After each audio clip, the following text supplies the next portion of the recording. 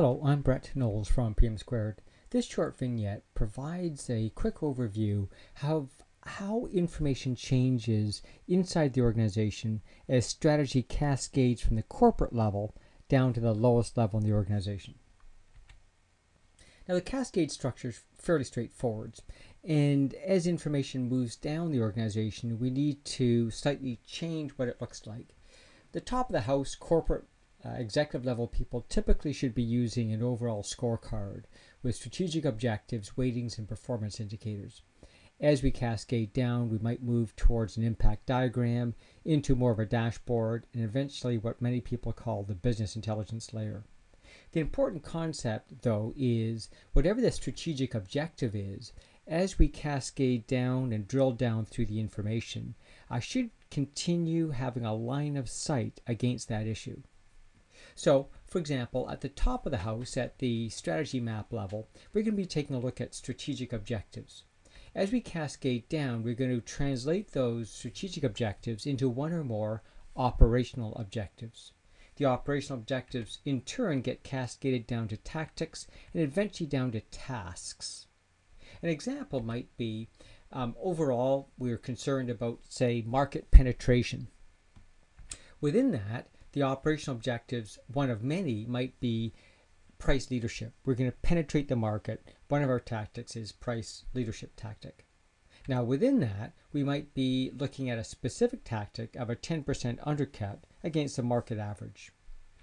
And the task, uh, one of many, to support that could be something like how do we monitor that pricing on a daily basis? In this way, we've taken a strategic objective and we've cascaded it down through a series of operational, tactical, and specific tasks that get us down to what individuals and teams might do in the organization. Now, another way to look at this is the strategic objectives tend to embrace a one to five year time horizon for a typical organization. Operational objectives might be quarterly or in some organizations monthly. Tactics tend to be monthly or weekly, and we get down to daily or weekly activities at the task level.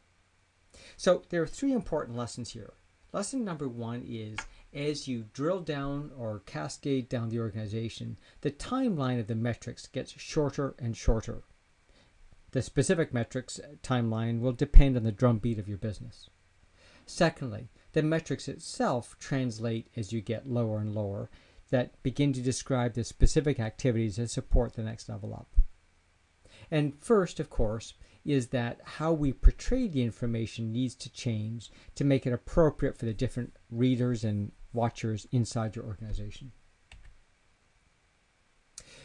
Simple definitions that you might want to consider are things like strategic objectives, look out the farthest in time. They tend to be cross functional and they have a reporter as opposed to a specific owner because they're cross-functional. Operational objectives tend to have an owner because I'm now moving inside the organization chart.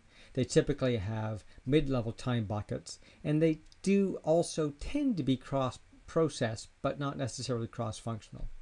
Finally, tactical objectives tend to be reported on a very short timeline. They tend to be within one process and they typically have a specific operator or owner that has that inside their job description.